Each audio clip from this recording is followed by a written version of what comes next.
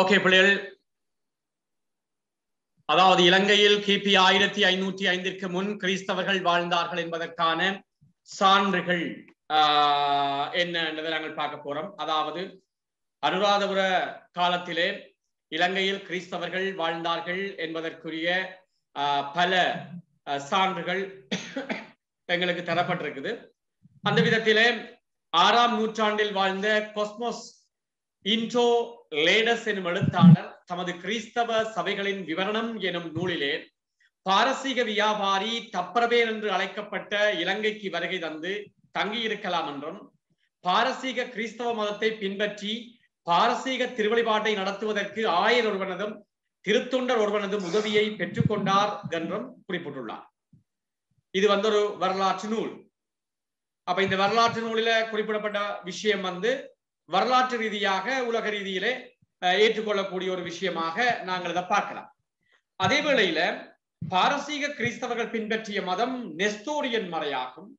இலங்கை மக்கள் கிறிஸ்தவர்கள் இல்லை என்றும் ஆறாம் நூற்றாண்டில் கிறிஸ்தவ ஆலயம் பற்றிய விடயங்கள் கிடைத்துள்ளனவும் திருவிலியம் வெளிநாட்டு மொழியில் காணப்பட்டது என்றும் கூறப்படுகிறது. மூன்று விடயங்களை நீங்கள் பார்க்கலாம். இந்த இந்த இந்த பாயிண்ட்ஸுக்குள்ள முதலாவது பாரசீக கிறிஸ்தவர்கள் பின்பற்றிய மதம் நெஸ்தோரியன்.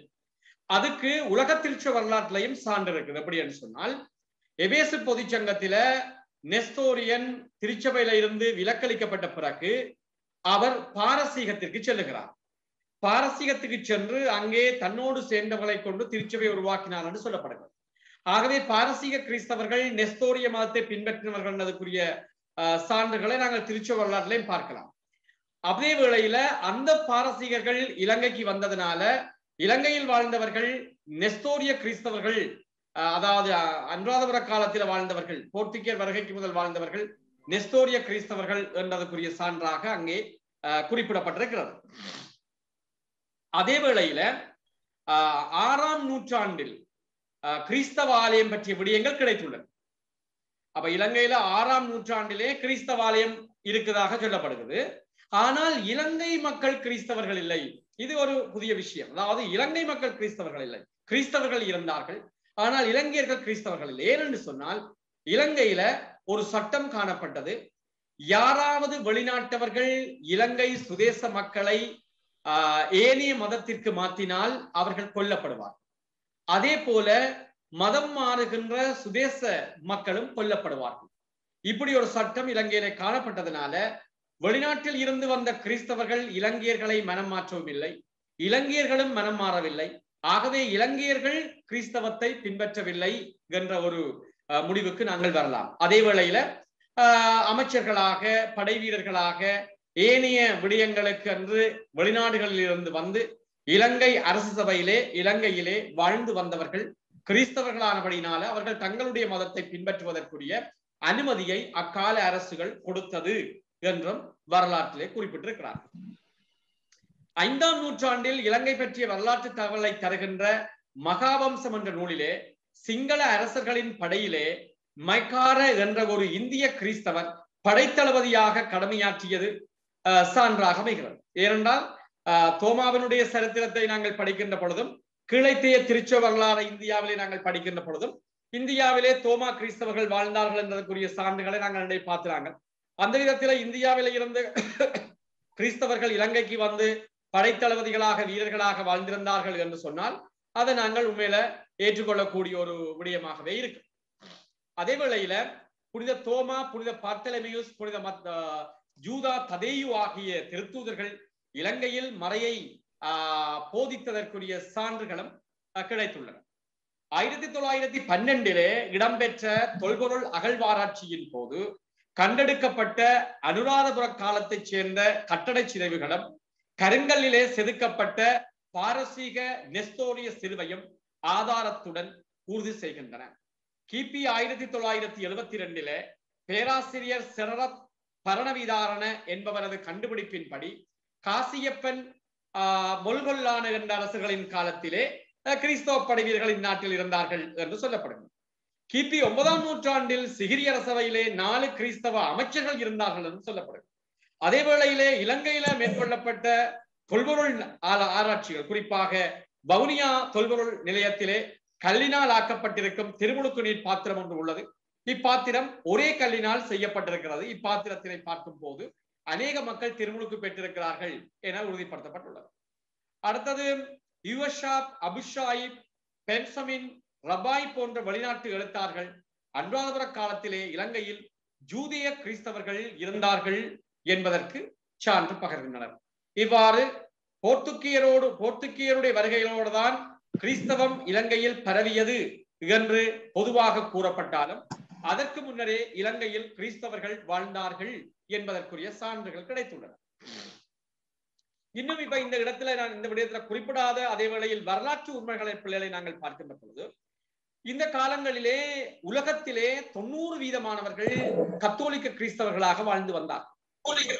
ஆகவே இந்த தொண்ணூறு வீதமானவர்கள் கத்தோலிக்க கிறிஸ்தவர்களாக வாழ்ந்து வந்ததனால இலங்கை கீழைத்தேய மேலைத்தேய நாடுகளின் ஒரு கேந்திர நிலையமாக இருந்ததனாலும் கடல்வழி வர்த்தகத்திற்கு இலங்கை மிகவும் பயன்பட்டதாகவும் அக்காலத்திலே வந்த கப்பல்கள் எல்லாம் இலங்கையில் தங்கி போக வேண்டிய தேவை ஏற்பட்டதனாலும் நிச்சயமாக இலங்கையில் கிறிஸ்தவர்கள் வாழ்ந்தார்கள் என்பதற்குரிய பல சான்றுகள் நிச்சயமாகவே இருக்கிறது. ஆகவே அனுராதபுர காலத்திலோ அல்லது போர்த்துக்கேயருக்கு முற்பட்ட போர்த்துக்கேயரின் வருகைக்கு முற்பட்ட காலத்திலே இலங்கையில் கிறிஸ்தவர்கள் வாழ்ந்தார்கள் என்று நாங்கள் சான்றுபட சொல்லலாம். அதே வேளையில போர்த்துக்கேயருடைய வருகை இலங்கை வருகைக்கான காரணங்கள் என்ன? அதாவது நீங்கள் ஓஎல்ல ஹிஸ்டரியிலையும் இதை பற்றி படிச்சிருக்கலாம். கீழைத்தேய வர்த்தகத்தில் ஆதாயத்தையும் ஏகபோக உரிமைகளையும் அராபியரிடமிருந்து முற்றிலும் கைப்பற்றி தமதாக்கிக் கொள்வது கீழைத்தேய வர்த்தகம் முழுக்க முழுவதும் அராபியருடைய கையிலே தான் காணப்பட்டது. மரமலர்ச்சியின் விளைவாக ஐரோப்பாவிலே நாடுகான் பயணங்கள் ஏற்பட்டன. இந்த நாடுகான் பயணங்களின் விளைவாக மேலைத்தேச நாடுகள் கீழைத்தேய நாடுகளுக்கு வந்து வியாபாரம் அதாவது வர்த்தக நோக்கிலே லாபம் சம்பாதிக்கும் நோக்கிலே கிளைத்தேய வளங்களை சுரண்டி கொண்டு போகும் நோக்கிலே படையெடுத்து வந்ததை நாங்கள் பார்க்கலாம்.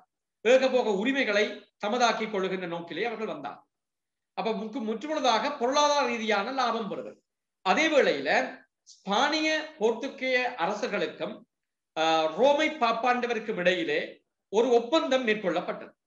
அந்த ஒப்பந்தம் என்னவென்று சொன்னால் மேலைத்தேயத்தில் கீழைத்தாய கிளைத்தாய நாடுகளுக்கு செல்வதற்கு கத்தோலிக்கம் சார்ந்த நாடுகளுக்கு திருத்தந்தை அனுமதி கொடுத்தார். அனுமதி கொடுக்கின்ற பொழுது அவர் அங்கே ஒரு ஒப்பந்தத்தை கொடுத்தார் அப்படி என்று சொன்னால் நீங்கள் கிளைத்தேய நாடுகளுக்கு போகின்ற பொழுதெல்லாம் அங்கே கத்தோலிக்க கிறிஸ்தவத்தை பரப்ப வேண்டும். அங்கே நீங்கள் மறைபரமணியாளர்களை கொண்டு போய் ஆலயங்களை புனர்வைத்து திருச்சபையை உருவாக்க வேண்டும்.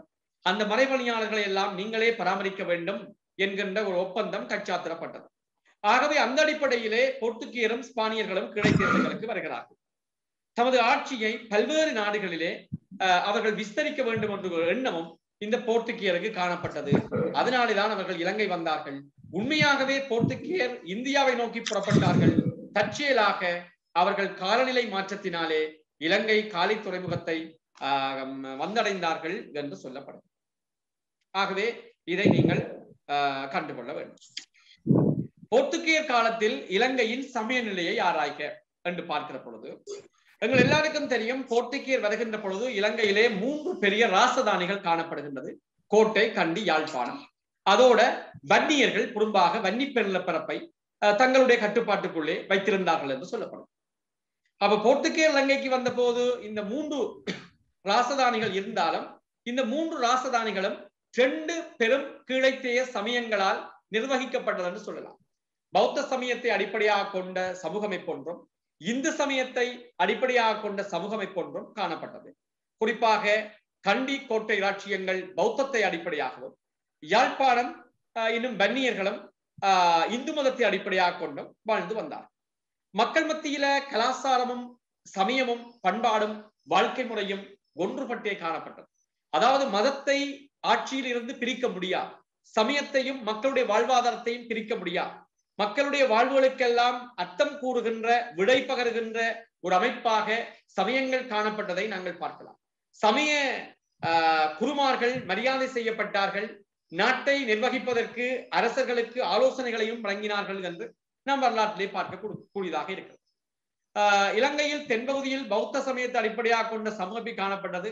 பௌத்த சமயத்தை பின்பற்றிய மக்களே அதிகமாக காணப்பட்டனர். பௌத்த விகாரைகளே கிராமங்களின் மையங்களாக காணப்பட்டன. பௌத்த திக்குகள் மிகுந்த செல்வாக்குடனும் மதிப்புடனும் போற்றப்பட்டனர் தமிழ் பேசும் மக்கள் இந்து சமயத்தை பின்பற்றுவதாக காணப்பட்டனர். ஆஹ் இக்காலத்திலே ஆஹ் பல இந்து பிராமண குருக்கள் ஆஹ் இலங்கையை விட்டு இந்தியாவுக்கு அனுப்பப்பட்டனர். பல இந்து ஆலயங்களில் வழிபாடுகள் ஆஹ் சடங்குகள் நடாத்துவதற்கு இந்து குருக்கள் இல்லாத நிலை காணப்பட்டது. இவ்வாறு சுதேச சமயங்கள் போர்த்துக்கியருடைய வருகையின் பின்னர் படிப்படியாக வலுவிழந்து சென்றதை நாங்கள் பார்க்கலாம் உள்நாட்டு குழப்பங்களில் இருந்து பாதுகாப்பையும் தம் அரச பதவிகளை தக்க வைக்கவும் பல அரசுகளும் அரசு அதிகாரிகளும் போர்த்துகீயர் உதவியை நாடி பௌத்த மதத்தை கைவிட்டு கத்தோலிக்க மதத்தை தழுவினர். ஏனென்று சொன்னால் மூன்று ராசதானிகள் இலங்கையில இருந்தாலும் இந்த மூன்று ராசதானிகளுக்கு இடையிலையும் பல கலவரங்கள் காலத்துக்கு காலம் ஏற்பட்டதோட குறிப்பாக கோட்டை ராட்சியத்துக்குள்ளேயே பல பிரச்சனைகள் ஏற்பட்டது. ஆகவே தங்களுடைய அரசை தக்க வைக்கும் நோக்கிலே அக்கால அரசர்கள் போர்த்துகீயர் உதவியை நாடினார்கள் என்று குறிப்பிடப்பட்டிருக்கிறது. வீழ்ச்சியுற்ற பௌத்த சமயத்தை மீண்டும் கட்டியெழுப்ப கோணப்பு பண்டார டொம் ஜீவான் கத்தோலிக்க சமயத்தை கைவிட்டு முதலாம் விமலதேச சூரிய என்ற பௌத்த நாமத்தை சூட்டிக்கொண்டு பௌத்த சமயத்தை தழுவி ஆட்சி பீடமேறி வீழ்ச்சியிருந்த வீழ்ச்சியுற்றிருந்த பௌத்த மதத்தை எழுச்சியுறச் செய்தான் என்றும் சொல்லப்படுகிறது. எப்படி இருந்தாலும் ஆஹ், இலங்கைக்கு வருகின்ற பொழுது இந்து சமயமும் பௌத்த மதமும் தலை சிறந்து விளங்கியது. ஆகவே அரசுகள் அக்கால அரசுகள் அதை மிகவும் நன்றாக ஆதரித்தன. சமயமும் மக்கள் வாழ்வும் ஒன்றாகவே காணப்பட்டதாக நாங்கள் பார்க்கிறோம். அந்த அடிப்படையில பிள்ளைகளே பிரான்சிஸ்கன் சபை அதாவது பிரான்சிஸ்கன் மரபணியாளர் மூலமாக மறைய பெறப்பதற்கு போர்த்துக்கீர் எடுத்த முயற்சிகள். இது உங்களுக்கு எக்ஸாம் பாயிண்ட் ஆஃப் வியூல நீங்கள் குறித்து படிக்க வேண்டிய ஒரு கேள்வி. அதாவது இலங்கையில் கத்தோலிக்க மதத்தை பரப்பி கத்தோலிக்கர்கள் தங்களுடைய விசுவாச வாழ்வில் நிலைத்து நிற்பதற்கு பெரும் பங்காற்றியவர்கள் ஆரம்ப கால கெட்டாக்கள் பிரான்சிஸ்கன் சபை துறவிகள் என்பதை நாங்கள் ஏற்றுக்கொள்ள வேண்டும். அமைக்கப்பட்ட தேவாலயத்தில் பிரான்சிஸ்கன் சபையைச் சேர்ந்த விசந்தி அடிகளார் ஆஹ், லத்தீன் மொழியிலே திருப்பலி ஒப்பு கொடுத்து ஒப்பு கொடுத்தார். அவ்வாலயம் புனித லோரன்ஸுக்கு அர்ப்பணிக்கப்பட்டது. உங்களுக்கு தெரியும். ஆஹ், வரலாற்று புகழ்மிக்க மூன்று லோரன்ஸ் ஆலயங்களை நாங்கள் சொல்லலாம். வேற லோரன்ஸ் ஆலயம் மூன்று வரலாற்று மிக்க லோரன்ஸ் ஆலயங்கள் இருக்குது இலங்கையில.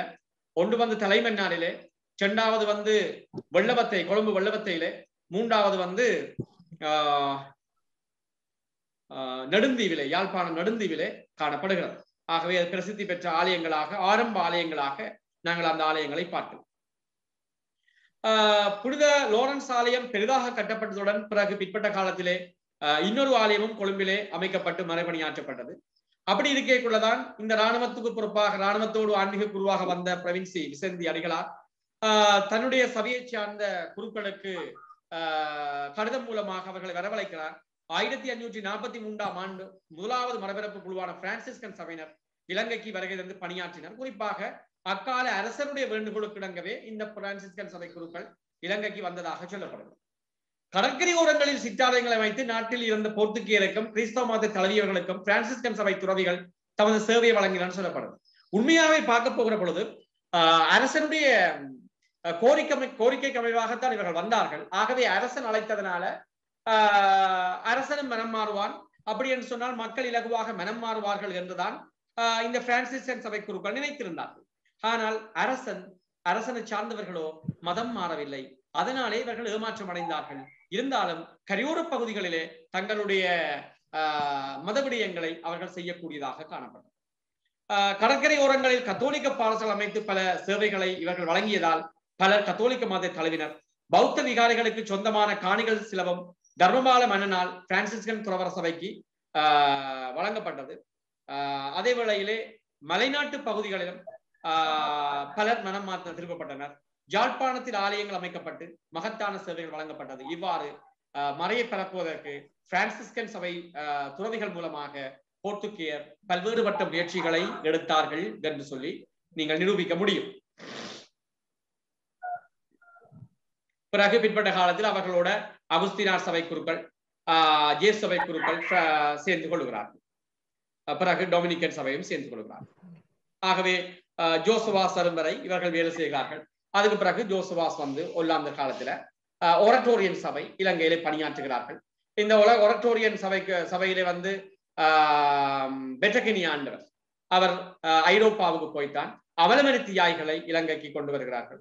அந்த அமலவர்த்தியாய்கள் இலங்கையிலே மாவ மறை மாவட்டங்களை உருவாக்கி இலங்கை முழுவதையும் பிறகு ஆஹ் சபை குருக்கள் ஆஹ் ஆசீர்வாத சபை குருக்களோடு சேர்ந்து நிர்வகித்ததை நாங்கள் பார்க்கலாம்.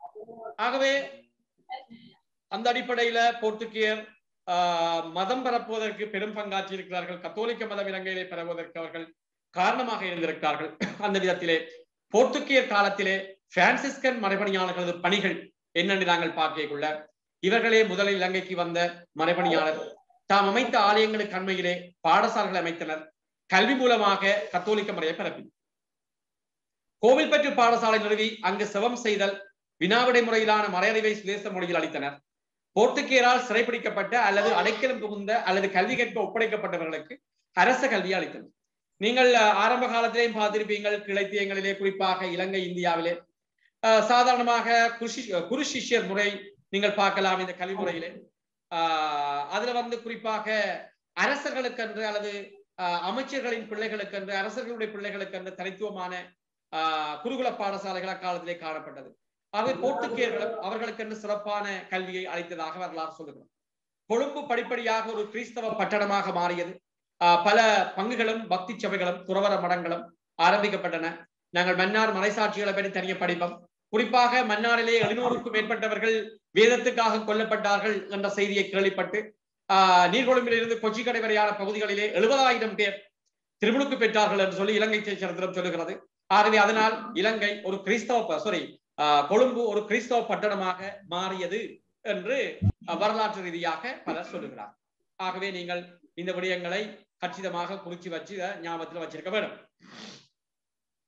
அதோட பிள்ளைகள் போர்த்துகேய மிசனரிமாரின் முயற்சிகள் வெற்றி அளித்ததற்கான காரணம். இதுல நீங்கள் ஒரு விஷயத்தை அறிஞ்சு கொள்ள வேண்டும். அவர்களுக்கு காலநிலை புதுசு இலங்கையினுடைய குவியல் பின்னணி புதுசு ஆஹ் வாழ்க்கை முறைகள் புதுசு பண்பாடு கலாச்சார பின்னணி புதுசு பேசுகின்ற மொழி புதுசு உணவு உட்கொள்ளுகின்ற உணவுகள் எல்லாம் புதியவை.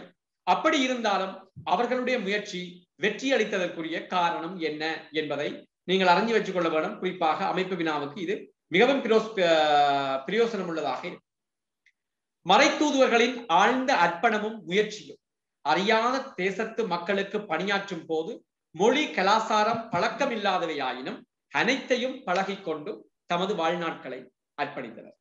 ஆகவே பிள்ளைகளே இங்க நீங்கள் ஒன்ன விஷயத்தை அறிஞ்சு கொள்ள வேண்டும். ஆஹ் எவ்வளவு தூரம் அவர்கள் அர்ப்பணம் உள்ளவர்களாக இருந்தார்கள் என்று சொன்னால் இலங்கைக்கு வந்த மறை மறைப்பணியாளர்கள் திரும்ப தங்களுடைய நாட்டுக்கு போவதெல்லாம் அக்காலத்திலே மிகவும் மிகவும் அரிதாக காணப்பட்டது. ஏனென்று சொன்னால் அவர்கள் இங்கே வந்து அதிக காலம் வாழ முடியவில்லை. காலநிலை காரணமாக அவர்கள் இறந்தார்கள் அதிகமானவர்கள். அதே வேளையிலே தாங்கள் மடிந்தாலும் இந்த மண்ணிலே மடிவார்கள் என்று இறக்கும் மட்டும் பணி செய்து மடிந்தார்கள் பல மரப்பணியாளர்கள். இவ்வாறு அவர்களுடைய அர்ப்பணம் மிகுந்த வாழ்க்கையை நாங்கள் பார்க்கிறோம் அதனால இறைவனுடைய ஆசீர்வாதம் சிறப்பாக அவர்களுக்கு கிடைத்திருக்கும். மறைத்தூதுவர்களுக்கு போர்த்துக்கே ஆட்சியாளர்களிடமிருந்து கிடைத்த உதவியும் மறைப்பிரச்சாரத்துக்கு வழங்கப்பட்ட சுதந்திரம் பிள்ளை நீங்கள் உண்ட இங்க கவனிச்சு கொள்ளலாம் என்னன்னு சொன்னால் இந்த பத்து ரூபாட ஒப்பந்தம். ஏற்கனவே நான் சொன்னது. இந்த பத்து ரூபாட ஒப்பந்தத்துல வந்து திருத்தந்தை கேட்டுக்கொண்டது நீங்கள் கிளைத்தேயங்களிலே கத்தோலிக்க திருச்சபையை ஸ்தாபிக்க வேணும். ஆகவே மறைப்பணியாளர்களை நீங்கள் பராமரிக்க வேண்டும். அவர்களுக்கு அத்தனையும் கொடுக்க வேண்டும். ஆகவே ஒரு மறையை பரப்புவதற்கு இந்த மிஷனரிமாருக்கு என்னென்னலாம் தேவையோ அதையெல்லாம் போர்த்துக்கி அதிகாரிகள் செய்து கொடுத்தார் ஆஹ் மற்றது மறைத்தூவரின் பிரச்சார முறை. அவர்கள் தேசிய மொழியை கற்றார்கள். அன்பான பிள்ளைகளே இப்ப இலங்கையை பொறுத்தவரை எங்கள்கிட்ட ரெண்டு மொழி தான் இருக்கு. தமிழ் சிங்களம். தமிழர்களுக்கு சிங்களம் தெரியா சிங்களர்களுக்கு தமிழ் தெரியா? இதான் நாட்டு பிரச்சனைக்கு காரணம். ஆனால் ஐரோப்பிய மொழி குடும்பத்தை சேர்ந்தவர்கள் இலங்கைக்கு வந்து எங்களுடைய மொழி குடும்பத்தை எங்களுடைய மொழியை கற்று அதிலே நூல்களை எழுதி எங்களுடைய மக்களுக்கு அவர்கள் கல்வியை கொடுத்தார்கள் பாடசாலைகள் அமைத்தார்கள் இறக்கப்பணிகளை செய்தார்கள் இலக்கியங்களிலே பங்காற்றினார்கள் என்று சொன்னால் அது ஒரு மாபெரும் செயல். ஆகவே அது அவர்களுடைய ஒரு பிரச்சார முறை. மறைத்தூதர்களுடைய எளிமையான வாழ்க்கை முன்மாதிரியாக இருந்தவை ஆகவே இந்த மறைத்தூதுவர்களை பார்த்ததும் மக்கள் அவர்களை பின்பற்ற வேண்டும் என்கின்ற ஒரு உணர்வு அவர்களுடைய வாழ்க்கை முறையிலே காணப்பட்ட காரணத்தினாலே அவர்கள் ஆஹ் முயற்சிகள் அத்தனையும் வெற்றி அளித்தன என்ற ஒரு முடிவுக்கு நாங்கள் வரலாம். அப்ப இது பிரான்சிஸ்டன் சபையை பற்றி நாங்கள் குறிப்பா பார்த்திருக்கிறோம். அடுத்தது நாங்கள் போர்த்துக்கியர் காலத்திலே ஜேசு சபையினருடைய பணிகள் என்ன என்று பார்க்கிறோம் போர்த்துக்கியர் காலத்திலே ஜேசு சபையினருடைய பணிகள் எப்படிப்பட்டன ஆயிரத்தி அறுநூற்றி ரெண்டாம் ஆண்டு அருட்திரு டயோகோடா ஆஹ், குன்கவின் தலைமையிலே ஆஹ், ஜேசு சபை ஆஹ், குருக்கள் நால்வர் இலங்கைக்கு வந்தனர். மகா ஓயாவுக்கு வடக்கே உள்ள பிரதேசங்கள் ஆஹ், ஒப்படைக்கப்பட்டது. அங்கே தம் பணிகளை அவர்கள் ஆரம்பிக்கிறார்கள். ஆரம்பத்திலே மகா ஓயாவுக்கு பக்கத்திலே திருமலை மட்டுநகர் யாழ்ப்பாணம் வரையான வடபகுதிகளிலும் பணியாற்றுகின்றார்கள். குறிப்பாக ஆஹ், பிற்பட்ட காலத்திலே ஆஹ், க- திருகோணமலை மட்டக்களப்பு அவர்களுடைய கேந்திர மையமாக மாறியது இன்றும் ஆஹ், இயேசு சபையினுடைய மிக பெரிய பணித்தளமாக ஆஹ், மட்டக்களப்பு மாவட்டம் மறை மாவட்டம் அமைந்திருப்பதை நாங்கள் பார்க்கிறோம். ஆஹ், இயேசு சபையினர் கொழும்பில் ஒரு கல்லூரியை நிறுவியதோடு தம்மிடம் ஒப்படைக்கப்பட்ட பகுதிகளிலே துறவர இல்லங்களை அமைத்து அப்பிரதேச மக்களுக்கு சேவையாற்றினர். ஒவ்வொரு துறவர இல்லத்திற்கும் அருகே ஆலயங்கள் கட்டப்பட்டன. கம்மல் சிலாபம் கற்பிட்டி மாதம்பே போன்ற இடங்களிலே பங்குகள் அமைக்கப்பட்டன. முரட்டுவ வலிகம்பிட்டி உடுகம்பொல போன்ற இடங்களிலும் ஜேசபை இல்லங்கள் அமைக்கப்பட்டன. ஆயிரத்தி அறுநூற்றி நாற்பத்தி மூன்றிலே ஜேசு சபையினர் மன்னாரில் எட்டு தேவாலயங்களை கட்டி பணிபுரிந்ததாக வரலாறு சொல்லுகிறது. சிலர் சுதேச மொழியினை கற்று நூல்களை மொழிபெயர்த்து கிறிஸ்தவ மறை வளர்ச்சிக்கு பெரிதும் ஆஹ் சேவையாற்றியுள்ளார்கள் இந்த ஜேசு சபை குருக்கள். ஆகவே பிள்ளைகளே இந்த ஜேசு சபை குருக்கள் இயேசு சபையை பற்றி நாங்கள் படிக்கக்குள்ள நீங்க ஏழாம் பாடத்திலே அதை பற்றி ஆழமாக படிச்சிருப்பீங்க. குறிப்பாக சீர்திருத்த துறவர சபைகள் சீர்திருத்தம் மறுமலர்ச்சிக்கு பின்னர் ஆஹ் சீர்திருத்த துறவர சபைகளுக்குள்ளே படிச்சு அது எவ்வளவு தூரம் ஆஹ் விசுவாசத்திலே ஆஹ் தளர்ந்திருந்த மக்களுக்கு ஆஹ் விசுவாசத்தை உறுதிப்படுத்தி கத்தோலிக்க திருச்சபையை கட்டியெழுப்பினார்கள் என்கின்ற ஒரு பெருமை இந்த ஜேசவ குருக்களுக்கு இருக்குது. அதனால இந்த ஜேசவ குருக்களுக்கு ஒரு பிரிவிலேஜ் இருக்குது. பாப்பாண்டவரிடமிருந்து அவர்களுக்கு கொடுக்கப்பட்ட சலுகை என்னன்னு சொன்னால் ஆஹ் எல்லா துறவர ஆஹ் சபைகளும் தங்களுடைய ஒழுங்கு நூலை மாற்றி அமைக்கின்ற பொழுது ஆஹ் திருத்தந்தையினுடைய அனுமதியை பெற வேண்டும்.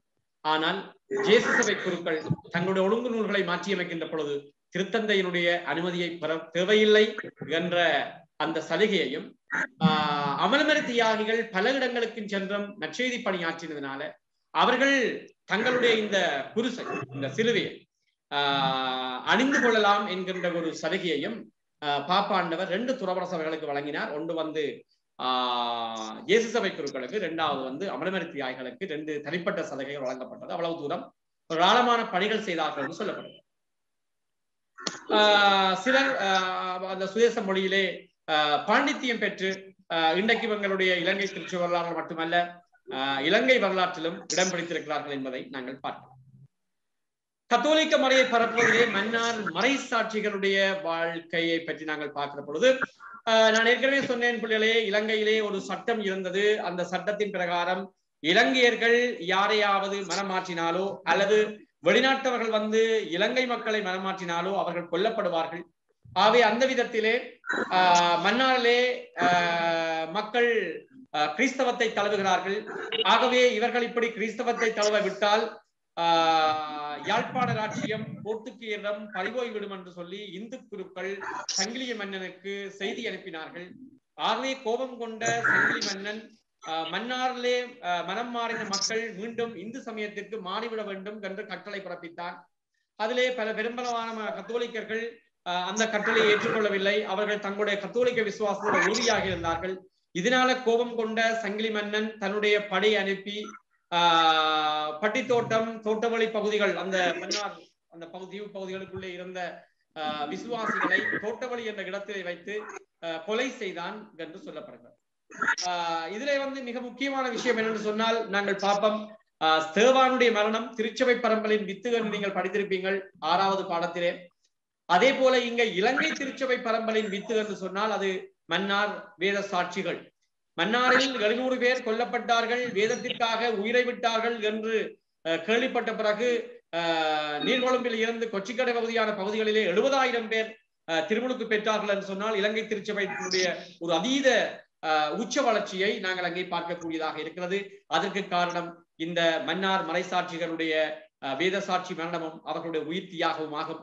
என்றும் போற்றப்படுகின்ற இந்த மன்னார் மறை மாவட்டம் தலை சிறந்து வளர்வதற்கும் ஆன்மீகத்திலே பலப்பட்டிருப்பதற்கும் ஆஹ் முக்கியமான காரணம் ஆண்டவருடைய வழிநடத்தலும் ஆஹ் புனித மருதமடு தாயாருடைய பரிந்துரையும் ஆஹ் அத்தோடு இந்த வேத சாட்சியர்களுடைய ஆஹ் தியாகமும். அதனாலே மன்னார் திருச்சபை என்று அவர்களை ஆஹ் புனிதர்களாக ஆக்குவதற்குரிய நடவடிக்கைகளில் இறங்கி இருக்கிறது ஆகவே இவர்களுடைய வரலாற்றையும் இவர்களுடைய புனித அந்த தியாகத்தையும் நாங்கள் போற்றுவதோடு அதை மற்றவர்களுக்கும் பறைசாற்றுவது எங்களுடைய கடமையாகும்.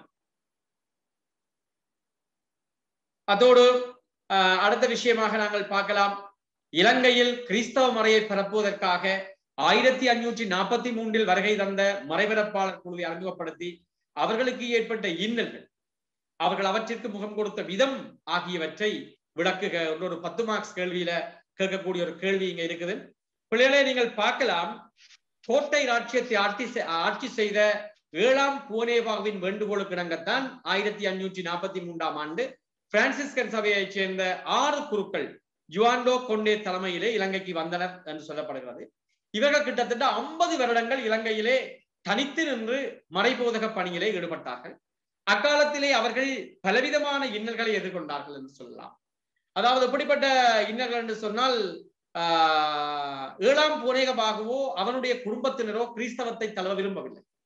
அரசன் மதம் மாறினால் மக்களும் மாறுவார்கள் என எதிர்பார்த்த மறைபரப்பாளர்களுக்கு ஆஹ், இது பெரும் ஏமாற்றத்தை கொடுத்தது என்று சொன்னால் ஆஹ், உங்களுக்கு தெரியும் அரசன் எவ்வளியோ மக்கள் அவ்வளி ஆகவே இந்த கத்தோலிக்க மதத்தை பரப்புவதற்கு அவர்களுக்கு பெரிய சிரமம் எடுத்தது சில போர்த்துகே அதிகாரிகளின் நாட்டு சட்டங்களை மதிக்காது அடாவடித்தனங்கள் ஈடுபட்டார். குறிப்பாக போர்த்துகேயர்கள் வன்முறைகளில் ஈடுபட்டார்கள். ஆஹ், அன்பை ஆதரித்தார்கள். கிறிஸ்தவ விழுமியங்களை பரப்பினார்கள். செண்டும் மக்களுக்கு முரணாக காணப்பட்டது. ஒருவன் அடிக்கிறான் அவனோடு வந்தவன் அணைக்கிறான். ஆகவே ஏற்றுக்கொள்ள முடியாது. இது வந்து இந்த மரபணியாளர்களுக்கு பெரும் சவாலாக இருந்தது. எனினும் மரபணியாளர்கள் பொறுமையோடு ஆஹ், பணியை தொடர்ந்தார்கள். மரபரப்பாளர் இங்கு வந்தபோது மொழி தம் பணியை செய்வதற்கு ஆஹ், பெரும் தடையாக அமைந்தது. எனினும் அவர்கள் இங்குள்ள மொழியை கற்று பண்பாட்டு வழக்க வழக்கங்களை பின்பற்றி போதக பணியிலே ஈடுபட்டார்கள். இந்த மொழியை படிப்பது சிங்களத்தையோ தமிழையோ படிப்பது அஹ், சாதாரணமான காரியம் இல்லை ஆனால் தங்களுடைய மறை பணியிலே இருந்த ஆர்வம் இறை பற்றும் இறைவனுடைய ஆசீரும் அவர்களை மொழியை கற்க வைத்தது. தூய ஆவியானவர் கொடுத்த ஞானம் அதிலே அவர்கள் பாண்டித்தியம் பெற வைத்தது. ஆகவே அவர்கள் கத்தோலிக்கத்தை இலங்கையிலே பரப்பினார்கள் என்று நாங்கள் பார்ப்போம். இவ்வளவும் பிள்ளைகள் இந்த போர்த்துகேர் கால மதம் பரவிய முறை என்ற பகுதிகளுக்குள்ளே நாங்கள் இதை பார்க்கலாம். பொதுவாக போர்த்துகேர் காலத்தில் கிறிஸ்தவ மதம் எவ்வாறு பரவியது என்பதனை ஆதாரங்களுடன் விளக்குக என்று கூட ஒரு பத்து மார்க்ஸ் கேள்வி கேட்டால் இந்த விடயங்களை எல்லாம் ஒரு ஆதாரமாக கொண்டு அஹ், நீங்கள் ஒரு பத்து மார்க்ஸுக்குரிய விடைகளை எழுத பழகிக்கொள்ள வேண்டும். இப்பொழுது நாங்கள் அஹ், காலத்து கல்வி முறைகளுக்குள்ளே வரப்போகிறோம். பிரான்சிஸ்கன் சபையின் கல்வி பணிகளை நாங்கள் முதல் பார்க்கலாம். பிறகு இயேசு சபையுடைய கல்வி பணியை பார்க்கலாம். போர்த்துகேயருடைய கல்வி பணியான்னு சொல்லி வரைக்குள்ள ரெண்டும் வரும். சில பிள்ளைகள் தனித்தனியாக கேட்கறதுக்கு வாய்ப்புகள் இருக்குது. அவை அந்த விதத்திலே நாங்கள் பார்க்கிற பொழுது பிரான்சிஸ்கன் சபையினரே முதலில் இலங்கைக்கு வந்த மறுபணியாளர் தாம் அமைத்த ஆலயங்களுக்கு அண்மையிலே பாடசாலைகள் அமைத்தனர் கல்வி மூலமாக கத்தோலிக்க முறை பரப்பினர் கோட்டையிலும் யாழ்ப்பாணத்திலும் மூன்று வகையான பாடசாலைகள் நிறுவினர். அது உங்களுக்கு தெரியும். ஒன்று கோவில்பேட்டு பாடசாலை உயர் கல்லூரிகள் அரசர்களுக்கான கல்விக்கூடங்கள். இந்த கோவில்பற்று பாடசாலை மிக முக்கியமானது. ஒரு பங்கிற்கு ஒரு பாடசாலை என்ற அடிப்படையில் அமைத்தனர் இன்றைக்கு நீங்கள் பார்க்கலாம் பெருமளவான ஆலயங்களுக்கு அண்மையிலே இருக்கிற பாடசாலைகள் ரோகாத்தா அல்லது ஆர்சிடிஎம்எஸ் என்றிருக்கும். ரோமன் கத்தோலிக்க தமிழ் கலவன் பாடசாலை ஆஹ் அல்லது அங்கால ரோமன் கத்தோலிக்க ஆஹ் சிங்கள கலவன் பாடசாலை அன்றிருக்கும். ஆகவே இது வந்து போர்த்துகேயர் கல்வித்துறைக்கு ஆற்றிய பங்களிப்பு என்று கூட நாங்கள் பார்க்கலாம். ஆஹ் போர்த்துகேய குருமாரால் எழுத்து வாசிப்பு போர்த்துகேய பண்பாடு கத்தோலிக்க நெறி கத்தோலிக்க சமய கீதங்கள் போன்றன கற்றுக் கொடுக்கப்பட்டது. இதை நாங்கள் கோவில் பற்று பாடசாலை என்று சொல்லுவோம். அதே போல உயர்கல்லூரிகளும் காணப்பட்டது அப்படி என்று சொன்னால் ஆஹ் ஐரோப்பிய கல்வி முறை ஒத்ததாக இருந்தது. இக்கல்லூரி முறை ஆஹ் கல்வி சமய சார்புடையதாகவும் ஆஹ் மதகுருக்களாக வர விரும்புவோருக்கும் தான் அழைக்கப்படும் ஒரு செமினரி மாதிரியாக இருக்கு ஆஹ் இவை போர்த்துக்கிய மொழியிலேயே இயங்கி வந்தன. சமயம் வேத சட்டம் வாசிப்பு எழுத்து எண்கணிதம் சங்கீதம் லத்தீன் நற்பழக்கங்கள் போக- ஆகியன இங்க போதிக்கப்பட்டது. அடுத்த மூன்றாவது வந்து அரசர்களுக்கான கல்விக்கூடம். உங்களுக்கு தெரியும் அரசர்களோ அரசர்களுடைய பிள்ளைகளோ பொதுவான கல்விக்கூடங்களுக்கு போக மாட்டார்கள். அவர்களுக்கு சிறப்பான கல்விக்கூடம் தேவை. அவை போர்த்துகேயரால் சிறைப்பிடிக்கப்பட்ட அல்லது அவர்களிடம் சரணடைந்த அல்லது கல்வி பயில்வதற்கு அவர்களிடம் ஒப்படைக்கப்பட்ட அரசர்கள் இளவரசர்கள் இங்கு கல்வி பயின்றார்கள். ஆஹ் போர்த்துகேய மொழியிலேயே இவை இயங்கி வந்தன. ஆஹ் எழுத்து வாசிப்பு லத்தீன் அரசர்களுக்கான கலை போன்றவை இங்கு கற்பிக்கப்பட்டன என்று நாங்கள் இந்த பிரான்சிஸ்கன் சபை ஆஹ் அவையனுடைய கல்வி பணிகளை பற்றி நாங்கள் பார்க்கணும் ஆனாலும் அதுல வந்து குறைபாடுகள் காணப்படும் பிரான்சிஸ்கன் சபை ஏற்படுத்திய இந்த கல்வி முறையில பல குறைபாடுகள் காணப்படுது. எப்படி என்று சொன்னால் கத்தோலிக்கரின் விசுவாசத்துக்கு ஏற்ப பாடசாலை அதிகரிக்கப்படவில்லை. கத்தோலிக்கர்கள் நிறைந்து காணப்பட்டார்கள். ஆனால் அவர்களுக்குரிய பாடசாலைகள் குறைவாகவே காணப்படும் அடுத்தது பார்க்கலாம் உயர்கல்லூரிகள் மூன்றே மூன்று மாத்திரம் இயங்கும். பாடசாலைகளில் சமயக்கல்வி மையம் பாடசாலை வந்து சமயக்கல்வி மையமாக கொண்டுதான் இயங்கின. கீழ்மட்டத்தாருக்கும் உயர்மட்டத்தாருக்கும் பாடசாலைகள் இருந்தன. நடைநிலையினருக்கான பாடசாலைகள் இருக்கே இல்லை. இதனால் அவர்கள் பெரும் பிரச்சனைகளை எதிர்கொள்ள வேண்டி ஏற்பட்டது. ஆகவே இதெல்லாம் உண்மையாகவே இந்த பிரான்சிஸ்கன் சபையினுடைய குறைபாடு. அவை இந்த குறைபாடுகளை நிவர்த்தி செய்வதற்காகத்தான் ஜேசு சபையினர் பணிக்கமர்த்தப்படுகிறார்கள். அவர்களுடைய கல்வி பணியை நாங்கள் பார்க்க கல்வித்துறையிலே நிறைந்த நிர்வாக ஆற்றலும் அனுபவமும் கொண்ட இயேசவையினர் ஆயிரத்தி அறுநூற்றி ரெண்டிலே இலங்கைக்கு வந்தனர். இவர்கள் கொழும்பில் உள்ள இடைநிலை பிள்ளைகளுக்கு ஆஹ், இடைநிலை பாடசாலைகளை அமைக்கும் நோக்குடன் ஆஹ், அழைக்கப்பட்டனர். இவர்கள் ஆரம்ப நில இடைநில உயர்நில போன்ற மூன்று வகையான கல்வி நிலைகளை ஆரம்பிக்கலாயினர். ஆரம்பத்தில் இவர்கள் கோட்டையில் தமது கல்வி பணியை தொடங்கி ஆயிரத்தி அறுநூற்றி இருபத்தி ரெண்டிலே யாழ்ப்பாணத்துக்கு இதனை விரிவுபடுத்தினார். கிட்டத்தட்ட ஆஹ், இலங்கைக்கு வந்த போர்த்துகீயர்கள் இருபது வருஷத்துக்கு பிறகுதான் யாழ்ப்பாணத்திலே வேலை செய்யக்கூடியதாக அங்கே அமைந்திருப்பதை நாங்கள் பார்க்கலாம் ஆகவே இவர்களுடைய பாடசாலைகளை நாங்கள் பார்க்கக்குள்ள முதலாவது ஆரம்ப பாடசாலைகள் இங்கு காலையிலும் மாலையிலும் சிங்களத்திலும் தமிழிலும் மறைக்கல்வி அழைக்கப்பட்டது மனப்பாடம் செய்தல் வினாவிடை முறை பின்பற்றப்பட்டது. பொதுவாக வழிபாடுகளில் பயன்படுத்தப்படும் சிவங்கள் பாடல்கள் கற்பிக்கப்படும் இப்பாடசாலைகளிலே நெடுங்கணக்கு வாசிப்பு எழுத்து பாட்டு நெற்பழக்கங்கள் கிறிஸ்தவ கோட்பாடு என்பன கற்பிக்கப்பட்டன. லத்தீன் மொழியில் வழிபாடும் தமிழ் சிங்கள மொழிகளிலே சமய போதனைகளும் அஹ், மொழியில் எழுத்தறிவும் கற்பிக்கப்படும் உங்களுக்கு தெரியும் பத்திரிகான் சங்கத்துக்கு முன்னுக்கு திருப்பலி எல்லாம் லத்தீன் மொழியிலே. ஆகவே நிச்சயமாக லத்தீன் மொழியில திருப்பலி அஹ், திருப்பலி ஆனால் மறையுரையை லத்தீன் மொழியில ஆற்றினால் யாருக்கும் விளங்காத. ஆகவே அதை தமிழ் சிங்கள மொழியில ஆற்றினார்கள் ஆஹ் மொழியிலே எழுத வாசிக்க கற்றுக் கொடுத்தார்கள். இடைநிலை பாடசாலைகள் ஆரம்பநிலை பாடசாலைகளை பாடசாலைகளில் கற்பிக்கப்பட்ட முறையே இங்கும் பயன்படுத்தப்பட்டது நாங்கள் சொல்லலாம். அடுத்தது வந்து உயர்நிலை பாடசாலை. உயர்நிலை பாடசாலைகளிலே இறையியல் கற்பிக்கப்பட்டது. இங்கு முதிர்ச்சி பெற்ற மாணவர்கள் மதக்குருக்களாக வரவிருக்கும் பிள்ளைகள் சிங்கள பிரமுகவர்கள் ஆஹ் பிள்ளைகள் மற்றும் சாதாரண குடும்ப பிள்ளைகளுக்கும் இடம் அளிக்கப்பட்டது. இப்படி மூன்று ஆஹ் நிலைகளிலே இந்த பாடசாலைகளை நாங்கள் பார்க்கலாம். ஆரம்ப பாடசாலை இடைநில பாடசாலை உயர்நில பாடசாலை என்று சொல்லி இந்த போர்த்துகீயருடைய காலத்திலே சாரி இயேசுவையினுடைய பணியிலே நாங்கள் பார்க்கலாம். அதே போல இலங்கையில் போர்த்துகீயர் கால சித்திர சிற்ப கட்டிடக்கலைக்கான சான்றுகள் ஆஹ் இப்படியான கேள்விகளை கலந்துரையாடல் கேள்விகளுக்குள்ள போட்டு உங்கள்ட்ட கேட்கலாம். அமைப்பு வினாவுக்குள்ள இந்த நாலு காரணங்களை நான் கொடுத்திருக்கிறேன். அப்படியான காரணங்களை மனதில் வச்சிருங்கன்னா தான் நீங்கள் உங்களுக்கு ஏற்ற விதத்தில விடைய எழுதக்கூடியதாக இருக்கும் பிள்ளைகள். ஆகவே அந்த விதத்திலே கல்லினாலான போர்த்துகேரின் சின்னம் லாஞ்சனை கொழும்பில் ஜனாதிபதி மாளிகைக்கு கீழ் உள்ள பிரதேசத்தில் ஹோட்டன் பிளேஸ் ஹோட்டன் தோட்டம் ஆஹ் அங்கே அது இருக்கு புனித அன்னாள் திரை ஆயிரத்தி அறுநூற்றி அறுபத்தி ஆறாம் ஆண்டை சேர்ந்த நவகமுக புனித அன்னம்மாள் ஆலயத்தில் திரையில் உள்ள இச்சித்திரம் ஒன்று தேவத்தை அரண்டாட்சியத்திலே காட்டப்பட்டிருக்கிறது. யாழ் சங்கானையில் உடைந்த ஒரு கிறிஸ்தவ ஆலயம் கண்டுபிடிக்கப்பட்டுள்ளது. கிளாலி சந்தியோமையோர் ஆலயம் தெல்லிப்பளை பேதுருப்பவுரு ஆலயம் வட்டுக்கோட்டை சிஎஸ்டி சிஎஸ்ஐ கதீட்ரல் என்பன இவற்றிற்கு சான்றாக அமைந்திருக்கிறது சொல்லி நாங்கள் பார்க்கலாம். ஆகவே ஆஹ் இது வந்து இந்த போர்த்துகீயருடைய காலத்திலே அல்லது போர்த்துகீயர்களால ஆஹ் சித்திரக்கலைக்கு கொடுக்கப்பட்ட பங்களிப்பன்று கூட நாங்கள் இதை ஆஹ் பார்க்கக்கூடியதாக இருக்கும். அதாவது ஆஹ் கல்வி பகுதிக்குள்ள ஆஹ் நாங்கள் பார்க்கலாம். சித்திர சிப்ப கட்டிடக்கலைகள் என்று பார்க்கலாம். போர்த்துகேயர் கால அரங்கியற்கலை நாட்டிய நாடக கலை. அது வந்து போர்த்துகேயர் வருகைக்கு முன்னரும் இலங்கையிலே காணப்பட்டது. போர்த்துகேயர் காலத்திலும் அது வழங்கப்படுகிறது அதுக்கு பின்பட்ட காலத்திலையும் வழங்கப்படுகிறது நாங்கள் பார்க்கலாம். போர்த்துகேயர் காலத்திலே குறிப்பாக கேசவை குருக்கள் மேலை நாட்டு பாணியிலான மே நாடகங்களை மேடையேற்றினார்கள். மத்திய காலத்தில் உருவாக்கப்பட்ட மறையான நாடகங்கள் அற்புத நாடகங்கள் ஒழுக்கம் பண்பு போன்ற நாடகங்களை தாமரைந்த ஸ்பானிய போர்த்துக்கிய மரபுகளுடன் இங்கு பயன்படுத்தினார்கள். அதனாலதான் நாங்கள் அந்த நாட்டுக்கூத்துகளை பார்க்கிற பொழுதும் அந்த உடை அலங்காரங்கள் எல்லாம் பல பாணிகளிலே அமைந்திருப்பதை நாங்கள் பார்க்கணும் மரபு ரீதியான கத்தோலிக்க நாட்டு கூத்துகள் மன்னார் யாழ்ப்பாணம் போன்ற பகுதிகளில் ஆரம்பமாகி வளர்ச்சி அடைந்துள்ளன.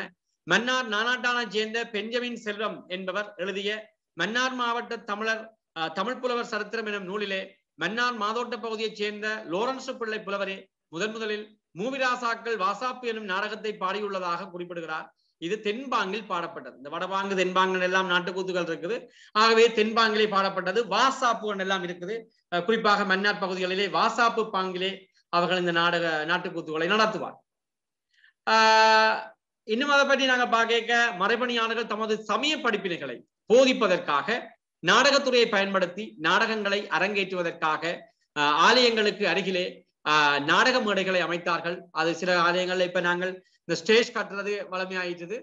அந்த காலத்துல இந்த நாடக மேடைகள் பெருசாக இருந்துச்சு ஆகவே அதை அவர்கள் அமைத்து ஆஹ் சமய போதனைகளை ஆஹ் இந்த நாட்டுக்கூத்து பாங்கிலே நாடக பாணியிலே அவர்கள் மக்களுக்கு கொடுத்தார்கள் என்று நாங்கள் பார்க்கலாம். அதே வேளையில ஆஹ் போர்த்துக்கேரின் வருக இலங்கை சமூகத்தில் ஏற்படுத்திய தாக்கம். இதுவும் கலந்துரையாடல் கல்விக்குள்ள போடலாம் அல்லது விவரிக்க கல்விக்கு போடலாம். உண்மையில பிள்ளைகளே இந்த போர்த்துக்கேருடைய வருகை இலங்கை சமூகத்திலே பல தாக்கங்களை ஏற்படுத்தியது உண்மை. மக்களிடையே காணப்பட்ட சாதி அமைப்பு முறைகள் குறைக்கப்பட்டன. அது குறைக்கப்பட்டன என்று ஆரம்ப காலத்தில நடந்த விடயங்களை விட கொஞ்சம் குறைக்கப்பட்டன்னு சொல்லலாம். ஆனால் இன்றைக்கும் அது தொடர்ந்து கொண்டிருக்கிறது என்றுதான் பேருண்மை. திருமணங்கள் முறைப்படி பதியும் சட்டபூர்வமான முறை ஆரம்பிக்கப்பட்ட தோம்பு முறை ஆஹ் ஆரம்பிக்கப்பட்டது. அதே வேளையில வந்து மக்களிடையே போர்த்துகேய மொழி பரவலாக பேசப்பட்டு வந்தது இன்றும். பல போர்த்துகேய சொற்பதங்கள் பாவனையில் உள்ளன. உதாரணம் அலவாங்கு சப்பாது துவாய் விராந்தை போன்ற போர்த்துகேய சொற்களை நாங்கள் பார்க்கிறோம். மேலை நாட்டு வைத்திய முறைகள் அறிமுகப்படுத்தப்பட்டன. அதோட ஆஹ், சொற்பதங்கள் பாவனையில் அதான் ஏற்கனவே சொன்னான். அஹ், மேலும் அஹ், உணவு பழக்க வழக்கங்கள். இன்னைக்கு நாங்கள் பெரும்பாலும் எல்லாரும் சாப்பிடுற பான் வைன் சலாது அச்சாறு பஸ்தோல் இப்படியான இது. மக்களுக்கு வைக்கிற பெயர்கள் குறிப்பாக மன்னார் பகுதிகளில் நாங்கள் பார்க்கலாம். சில்வா பெரேரா மெண்டிஸ் அல்மேதா வாஸ் இப்படியான பார்க்கலாம். மற்றும் இசை கப்ரிஞ்சா பைலா போன்றன இன்று இலங்கை மக்களின் வாழ்க்கையிலே தாக்கத்தை செலுத்துகின்றன. ஒருதார பழக்கம் ஞான உறவுமுறைகள் பேணப்பட்டன. போர்த்துகீயர்கள் இந்த ஒருதார பழக்கத்திலே மிகவும் ஆஹ் கத்தோலிக்க நடைமுறை பின்பற்றியவர்கள். அடுத்தது வந்து தொழில் வேறுபாடுகள் நீக்கப்பட்டது. உங்களுக்கு தெரியும் ஆரம்ப காலத்திலிருந்து இலங்கையிலே தொழில் ரீதியாக மனிதர்கள் கூறு போடப்பட்டார்கள். அந்த நிலை போர்த்துகீயர் காலத்தில் நீக்கப்பட்டாலும் பிற்பட்ட காலத்தில் மீண்டும் அது தலை தூக்கி இருப்பதை நாங்கள் பார்க்கக்கூடியதாக இருக்கிறது. இவ்வளவு தான் பிள்ளைகள். எங்களுடைய பாடப்பரப்பிலே இந்த போர்த்துகேயர் மதம் பரப்பிய போர்த்துகேயர் கத்தோலிக்கத்தை பரப்பிய முறையையும் அல்லது போர்த்துகேயர் கால கல்வி முறைகள் என்ற ஒரு அடிப்படையிலையும் அதோட இந்த சிற்பம் சித்திரம் நாடகம் ஆஹ் போன்ற பாணிகளிலே போன்றவற்றிலே இந்த போர்த்துகேயருடைய பங்களிப்புகளை பற்றியும் எல்லாத்துக்கும் நிறைவாக இந்த போர்த்துகேயருடைய வருகை இலங்கை மக்கள் மத்தியில் எத்தகைய ஒரு தாக்கத்தை ஏற்படுத்தி இருக்கிறது என்பதையும் நாங்கள் இன்னைக்கு பார்க்கக்கூடியதாக இருந்தது. அடுத்த வகுப்பு ஒல்லாந்தர் காலத்தை பற்றியது.